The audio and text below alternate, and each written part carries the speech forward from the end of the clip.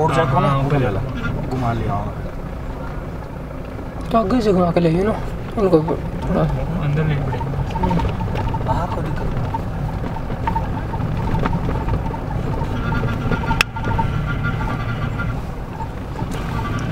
के ऊपर वो पीछे में बैठे क्या कोई नहीं। नहीं वो नहीं पता लगा